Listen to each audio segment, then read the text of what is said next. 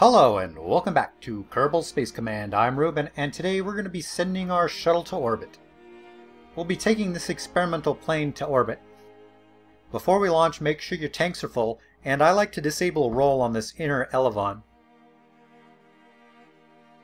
And we're going to give our new shuttle a name. Like the real first shuttle, I named it Enterprise. Here we are on the launch pad. We're going to control the shuttle from the probe core we put in the back. Unfortunately, the real Space Shuttle Enterprise never went to space. It was used for approach and landing tests. Enterprise was going to be refit for spaceflight, but it turned out it was going to be too costly, so instead another shuttle was built. We're going to be using the FMRS mod today to recover our rocket boosters and our external tank. This mod will allow us to jump back in time to the point where we decoupled the rocket boosters and the external tank.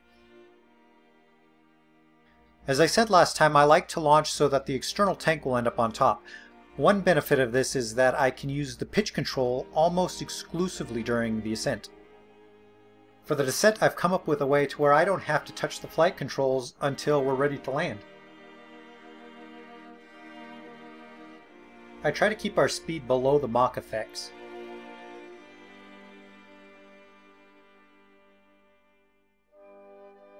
And as we ascend, I start to pull over a little more, and then I like to watch the apoapsis grow. I would like the apoapsis to just be in space when we run out of fuel in the external tank.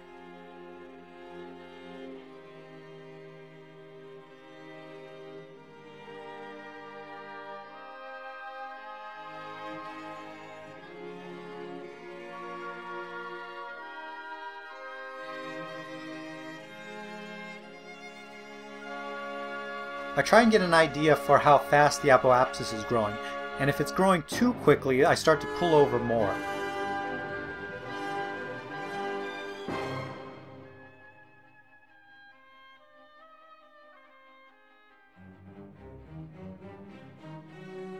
Remember our cockpit isn't in line with our thrust. I'm trying to get the thrust on the nav ball's horizon.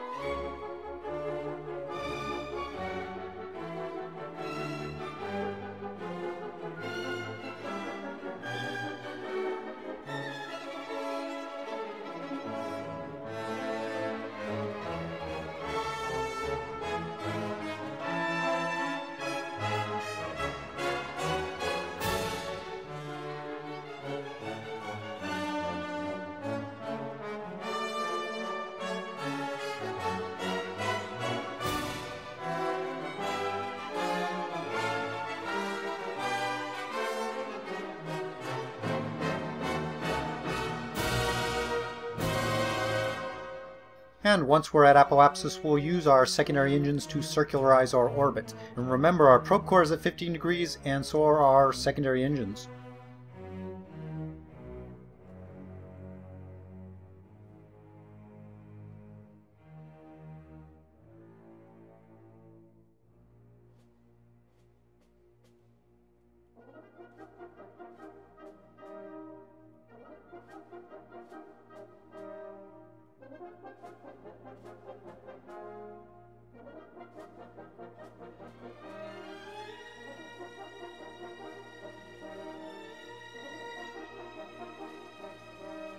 Once we're in orbit, we can now go back and recover our boosters and our external tank.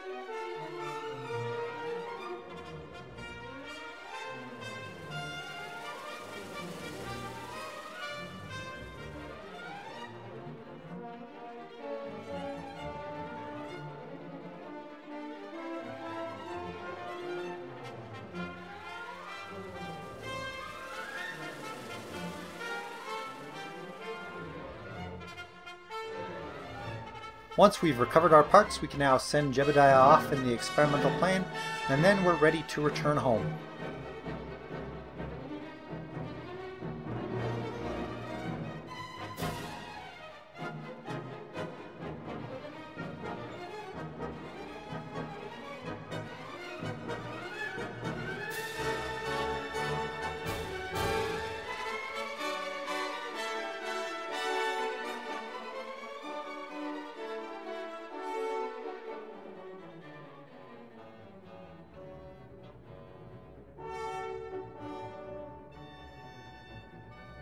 When we're in position, we'll do our deorbit burn. I ended up landing this with a lot of fuel still, but if you want to get rid of your fuel, you can wait longer to do your deorbit burn. You'll come in steeper, but the shuttle can handle it. You can put your angle of attack into the trajectories mod. I would never use this though. In the atmosphere, I would use the pitch control to move our trajectory out farther or bring it back closer, and by doing this I would almost always be able to get back to the runway. Since we're controlling from our probe core and our probe core was rotated 15 degrees, our whole shuttle is nosing up. The trajectories mod takes this into account and it shows us our glide profile, and it turns out to be pretty accurate. The Kerbals are going to hold the shuttle prograde relative to the probe core, so now I'm not going to touch the flight controls until we're near the Space Center. Alright Kerbals, you've got the ball. Don't crash this shuttle.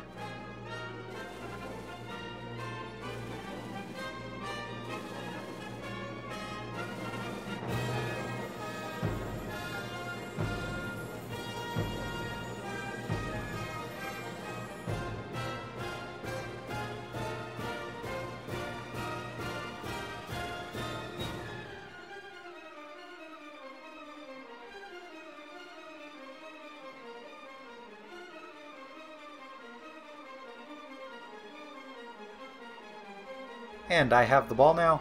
I'm going to bring us in for a landing. Good job, Kerbals.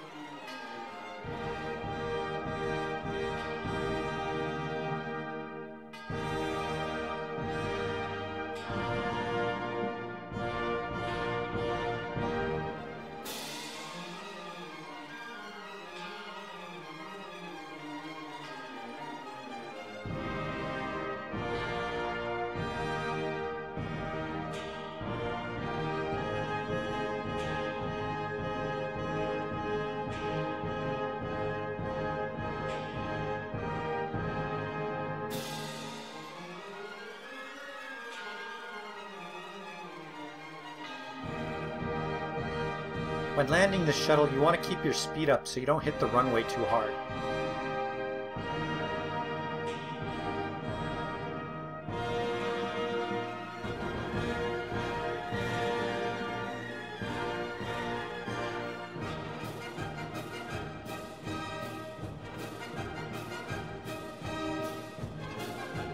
I really enjoy landing these shuttles, so you get an extra landing. In the next video, we'll build our experimental plane and we'll fly it back from space. And now that we have a good shuttle, we can finish building our space station.